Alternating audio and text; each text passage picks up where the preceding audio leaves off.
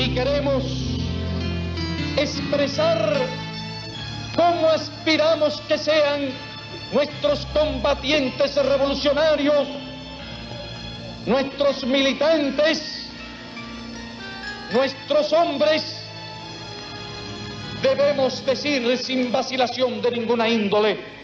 que sean como el Che